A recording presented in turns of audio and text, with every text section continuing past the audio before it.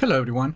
In this video we're going to look at the new visual changes and improvements available on Windows 11 build 22533. As always, these changes are available in the dev channel and while they're not tied to a specific release of Windows 11, they are expected to ship with the next feature update at the end of 2022. Okay, here's what's new on Windows 11 build 22533. This flight is a minor update, but it includes some interesting visual changes. For example, the company has finally updated the volume interface to match the design language of Windows 11. So now when you try to increase or lower the volume using, using the keyboard, you will now get the new interface that looks something like this.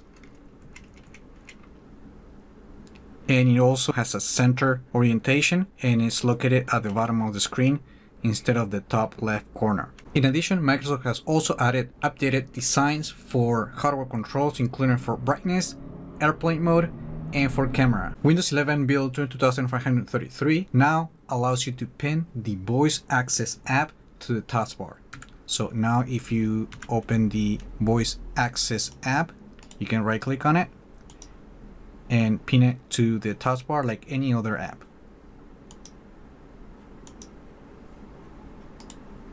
And you can also unpin it if you like to do so. Now when you right click the start button, you will notice that the menu includes the install apps entry instead of the apps and features entry. And that's to reflect that the page has been updated to divide the settings for the install apps and advanced app settings. Also, if you want to, you can now uninstall the clock app.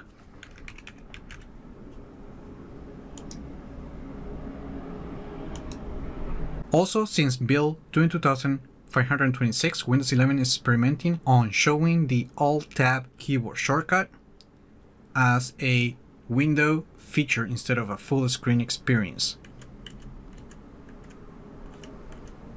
Another important change that recently Microsoft have added to Windows 11 is support for wideband speech when using Apple products such as the AirPods, AirPods Pro, and the AirPods Max to improve audio quality for video calls. And that's it. Windows 11 build 22533 also includes several fixes and other lesser improvements and I will be leaving a link in the video description so you can learn more about them. Remember to like the video, leave your comments, subscribe to the channel if you haven't done that yet and I just hope this video was informative for you and I would like to thank you for viewing.